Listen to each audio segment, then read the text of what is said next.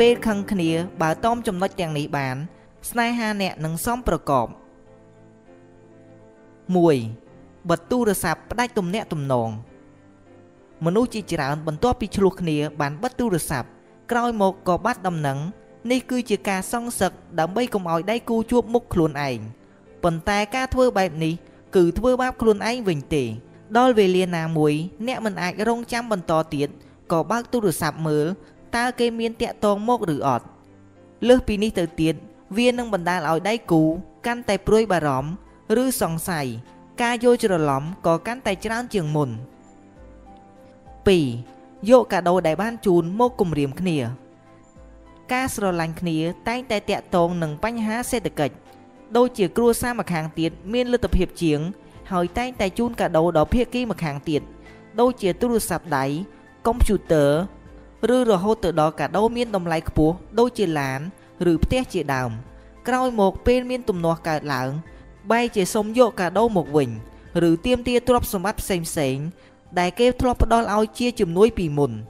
ការធ្វើបែបនេះនឹងបណ្ដាលឲ្យដៃគូម្ខាងទៀតមានអារម្មណ៍ថា ខ្លួនត្រូវគេមើងងាយវាអាចคล้ายជាគំនុំគុំគួននៅថ្ងៃក្រោយបាន3ពោលពាក្យបែកគ្នាដោយងាយងាយ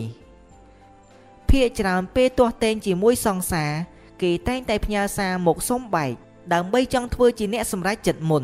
ប៉ុន្តែការធ្វើបែបនេះហាក់ដូចជារុញច្រានខ្លួនឯងដល់ទីទាល់ច្រកអ្នកដែលចូលចិត្តនិយាយពាក្យបែកគ្នា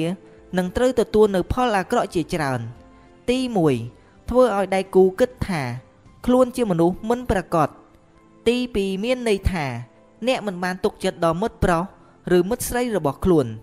លើសពីនេះទៅទៀតវាអាចនាំឲ្យពាក្យសុំបែកនោះคล้ายជាការពិតបានទោះបីជាអ្នកចង់ឬមិនចង់ទីបំផុតពេលចង់ដកពាក្យវិញ គេនឹងនិយាយថាក្រែងបងឬក៏អូនចង់បែកមែនទេ